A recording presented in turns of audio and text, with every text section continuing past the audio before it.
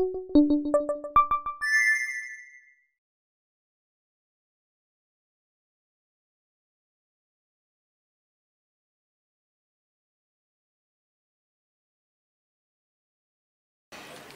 赤では3.11以降ですね。医療救護活動あるいは救援活動ずっと続けてきました、まあ、一時帰宅の救護も含めてですね実施してきたわけですがそれも一段落しまして、え今年度は復興支援事業ということで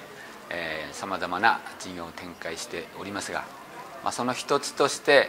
え今回双葉郡の8町村を対象にですね、え避難されている方々の住民交流会と称しまして、え県内各地にちりぢりバラバラになった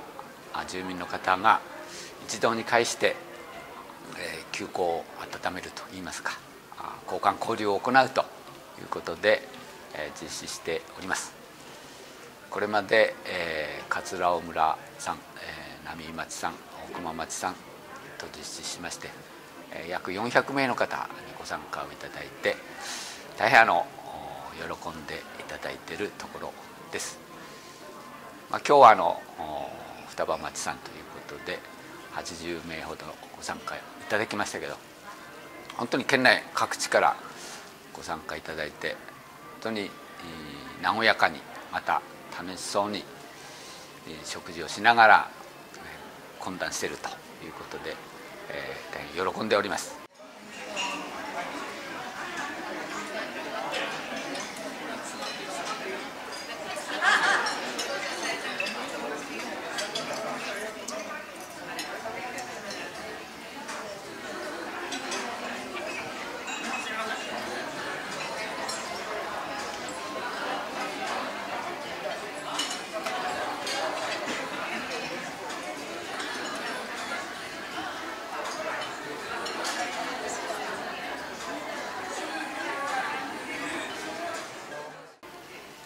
まあ、これからも